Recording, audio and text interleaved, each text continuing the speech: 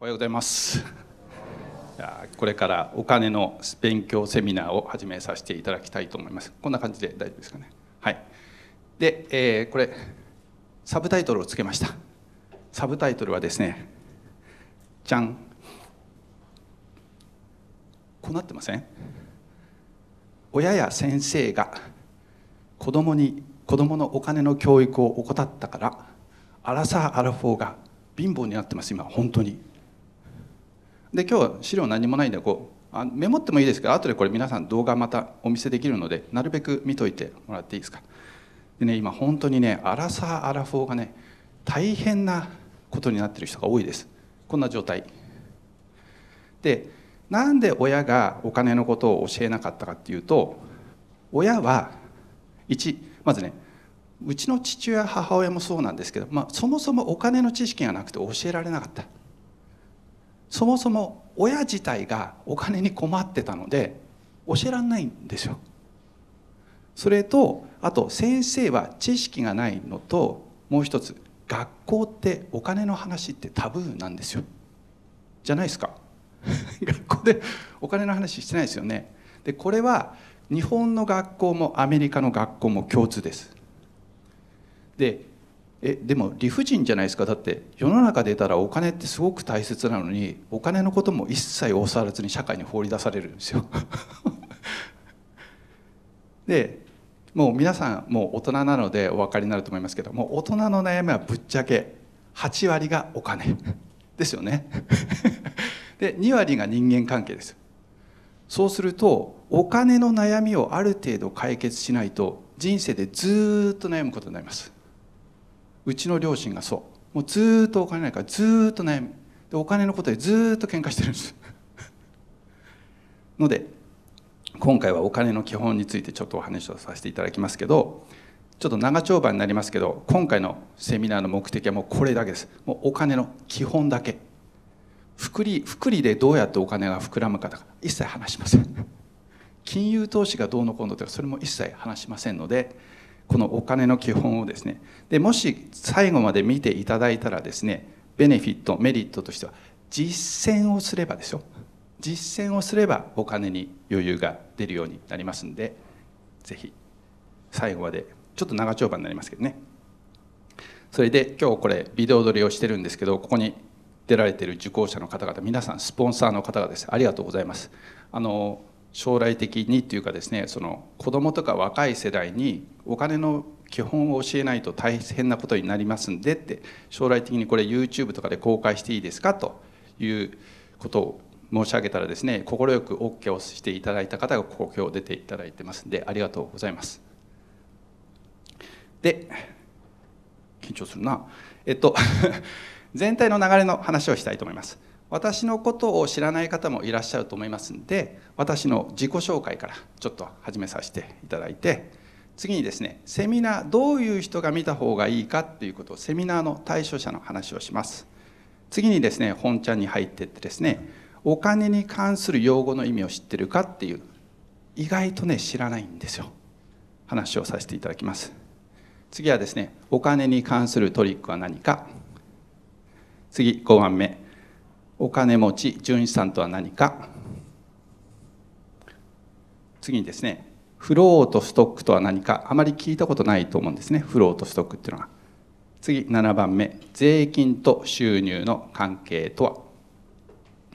次8お金の三大支出とは。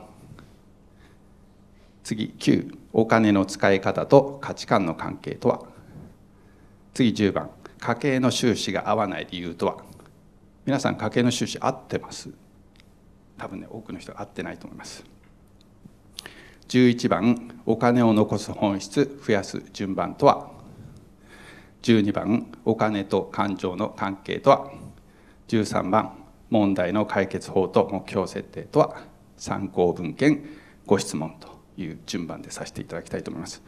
今日ここ出られた方みんな私のことをご存知だと思うんですけど知らない方のためにちょっと自己紹介をさせてください。私の名前は古市幸男と言いましてですねこの1日30分を続けなさいという本がですね13年前ぐらいかな。2007年にですねベストセラーにしていただきました。でいろんなレビューをいただくんですけど一番こういうレビューが多いです。要は分かりやすいと。で私の得意なことは難しいこと分かりづらいことを優しく分かりやすく解説するのが一番得意だと思ってます、えー、何も発明も発見もしてませんけどこれが得意だと思います。で、えー、君はお金の話をする資格があるのかと言われそうなので 一応アメリカ行って MBA 取ってですねファイナンスの勉強もしてきましたし FP3 級というのはですねファイナンシャルプランナーで3級の資格を持っているのでまあ喋っても問題ないかなというふうに思います。それでセミナーの対象者の他の話して大丈夫ですかね。皆さんもご存知だと思うんですけど世の中で勉強しお金の勉強しようと思ったら大体このマトリックスぐらいしかないんですよね。それは比較的低額でお金の基本を学ぶ。これは書籍なんか。こういうとこですね。だけども最近は本を読む人が少なくなっているのとあとお金の関係の本を読んであんまつまんないのが多いですね。のでそれがちょっと問題かなと思います。この左上えっと、比較的お金の上級編の話をするんだけどかつそれほど高くない。ものはですねここに生命保険の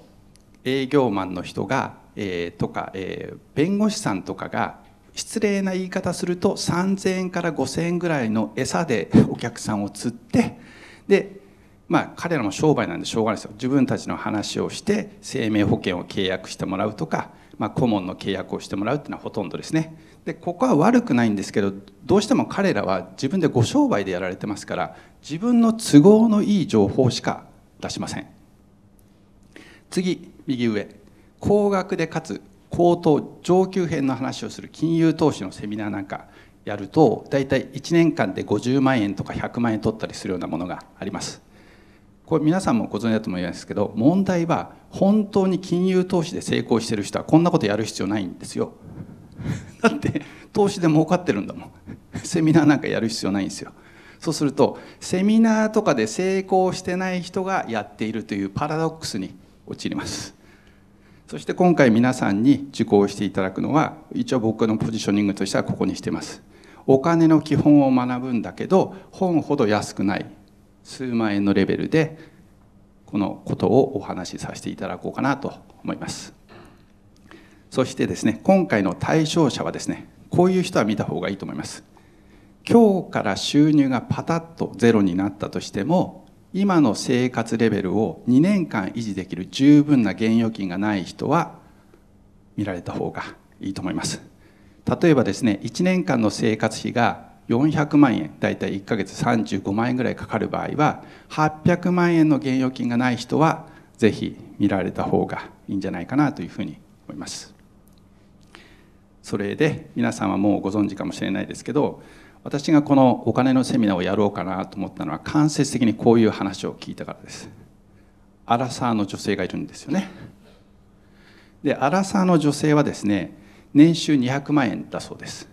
でこのぐらいの金額年収だと一人で生活することができないので親元で生活をしてます。そしてコンサあるグループが大好きでコンサートに行くのが好きなんだそうですよね。でね入ったお金ね全部使っちゃうんですよコンサートで。でお金の計画性全くなし。で今楽しければいいじゃんって感じなんですよ。それでお金がないどころかおそらく2300万円借金をしてます。理由は軽自動車を新車で買ってしまった。なぜかわからないんですけどお金に余裕がない人に限って新車を買うのが大好きなんですよね。それとおそらくクレジットカードでリボ払いを連発している。から実際は300万円ぐらいお金がマイナスになってます。もう生活保護予備軍ですね。で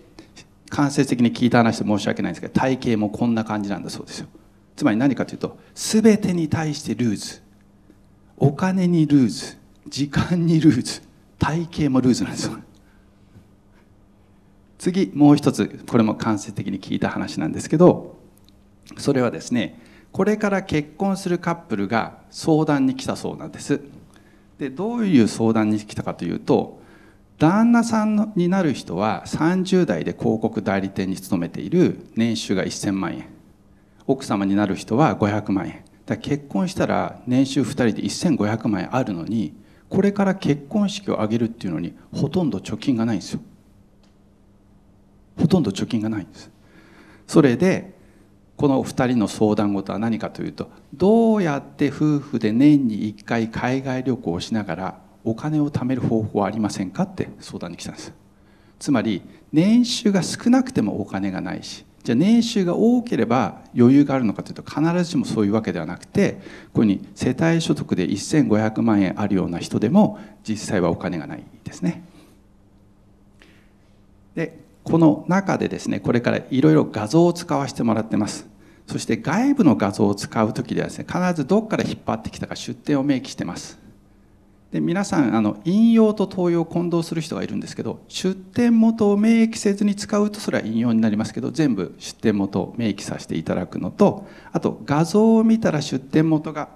これ僕レーザーポインター使わない何やったんだ画像が分かるのにあの出典元が画像で分かるのは明記しません。それと先ほどのイラストように弊社で買ったものはあれもイラスト買ったんですけどね。勝手に持ってくると大変になると思って。買ったものも明記しません。それでこれから長丁場になりますが1時間ごとに15分休憩する予定ですんで大丈夫です。あのぶっ続けではやりませんので。それとこれやってる最中途中退席してもらっても構いません。トイレ行きたいとか全然退出してもらっても構いませんし飽きたでも 出てもらって構いません。でカメラが今日入ってますんでカメラに映り込まないようにだけはあの気をつけてください。あの顔気にされる方はね。それでご質問は一番最後に受け付けます。大丈夫ですか？まとめて。それと大体5時から5時半ぐらいになる予定じゃないかなということでそれで勝手に宣言させていただきたいと思います。それは何かというと忖度嘘情報一切言いません。先ほども言いましたけど世の中って意外とね本当の情報って出回んないんですよね。それとあとこれ映像に撮ってますんで将来的に私の娘が見てもお金の勉強できることしか話しません。っていうのは自分の子供に嘘を言う親いないですよね。なので一切話しません。僕金融商品を売ってないので忖度してる情報とか嘘言うこと一切言いませんので全部信じていただければなというふうに思います。そして内容的にはですね高校生以上であれば大体わかるんじゃないかなという内容にさせていただきます。